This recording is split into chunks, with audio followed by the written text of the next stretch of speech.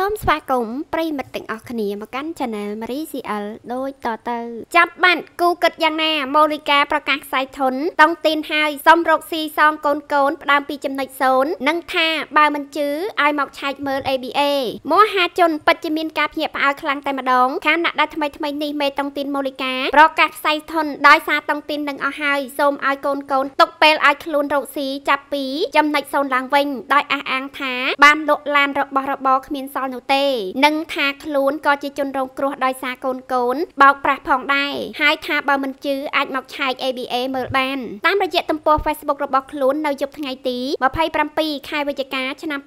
2022មេតុងទីនម៉ូលីកាបានប្រកាសខ្សែធននិងសំទោសកូនកូនដោយលើកយកហេតុផលរៀបរាប់ហាក់កំសត់បែបនេះថាទោះកូនរត់កូនបោកកូនបន្លំកូនមិនមានទំនួលខុសត្រូវសងលុយខ្ញុំមកវិញខ្ញុំនៅតែនិយាយពាក្យដដែលថានឹងនៅរកលុយសងកូនកូនរងគ្រោះទាំងអស់មិនឲ្យបាត់សូម3 1ដុល្លារឡើយខ្ញុំសុកចិត្តលក់ឡានលក់របស់របរសងទាល់តែអស់ហើយ នៅថាខ្ញុំបោកទៀតមែនទេ ហើយខ្ញុំមិនសុំអ្វីច្រើន ពីបងប្អូនឡើយសុំត្រឹមទុកពេលឲ្យខ្ញុំរកស៊ីពីចំណុចសូនមកវិញដើម្បីសងបងប្អូន ដែលមិនទាន់បានលុយហើយបងប្អូនអាចមកធ្វើឯកសារបានដើម្បីទំនុកចិត្តមនុស្សណាដែលចង់បានជីវិតធ្លាក់មកដល់ចំណុចសូននឹងគឺគ្មានទេ មនុស្សណាដែលចង់ឲ្យគេបោកមនុស្សណាដែលខំសាងគេឈ្មោះបានដល់ចំណុចនេះហើយក៏ត្រូវមកខ្លាយជាបែបនេះគ្មាននរណាចង់បានជីវិតបែបនេះទេគ្មាននរណាចង់ខុសទេអញ្ចឹងសូមបងប្អូនអនុគ្រោះឈប់បន្តការជេរការវាយប្រហារការផុសចំពោះរូបខ្ញុំទៀតផងចោះ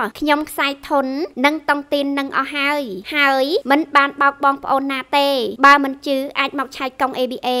និងឆែកមើលបានថាខ្ញុំសល់អ្វីខ្លះនៅពេលនេះបាត់បង់អ្វីខ្លះនៅពេលនេះខ្ញុំក៏ជាជនរងគ្រោះម្នាក់ដែរហើយស៊ូថាលុយបាត់ទៅណាអស់គឺលុយកូនដេញហើយរត់មិនបង់កូនបន្លំ ABA edit ABA ហើយខ្ញុំនឹងមិនឲ្យពួកវារួចខ្លួនដែរខ្ញុំនឹងចាត់ការតាមផ្លូវច្បាប់ទាពួកវាឲ្យបានឲ្យអស់ដើម្បីបានលុយមកសងកូនតុងទីនលឿនលឿនហើយខ្ញុំសូមទោសកូនតុងទីនទាំងអស់ដែលខ្ញុំបានធ្វើប្រហែសខ្លាំងក្នុងការគ្រប់គ្រងខ្សែតុងទីនមួយរយៈក្រោយនេះប៉ុន្តែតកតងត្រង់ចំណុចថាបើកូនកូនមិនជឿអាចមកឆែកកង់ ABA មើលបានស្រាប់តែករណី Facebook គីមសុផារីបានចោទជាសំណួរយ៉ាងចាក់ដោតថាគាត់ប្រកាសថាខ្សែធនហើយអស់លុយសងខ្ញុំសុំស៊ូមួយព្រោះជាម្ចាស់លុយម្នាក់ដែរបងបងលុយធំគាត់ថាយកទូរស័ព្ទ ABA គាត់មកឆែកហើយថាអត់មានបាញ់ទៅណាទេហេតុអ្វីលុយបាត់ច្រើនឡេះខ្ញុំពីជាតិទៀតមិនបានផងលុយលៀនលៀនគេធ្វើតែមួយក្បាច់ស៊ូមួយណាស្រីកាលុយសុតដែល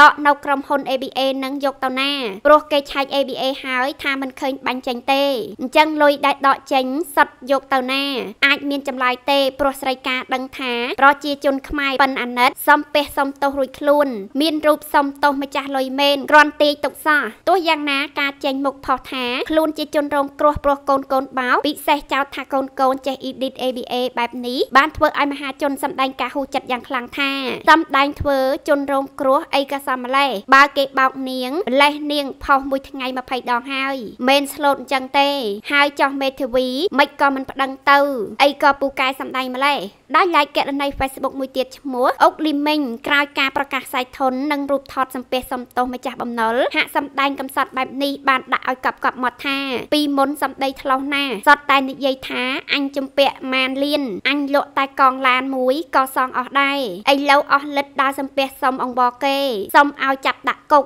ឲ្យសំមុខសំដីជេរគេច្រេះឆ្អេះតែបងបងកំភ្លេចមនុស្សនេះពូកែសម្ដែងលេខ1នៅមុខម្ចាស់បំណុលបើមនុស្សដឹងខ្លួនខុសមែននៅចេះប្រើពាក្យមើលងាយអ្នកដតីឈួតទាំងដែលខ្លួនឯងអន់ជាងគេទៀតព្រោះគេមិនចេះសម្ដែងទូកំសត់ដូចអ្នកឯងទេ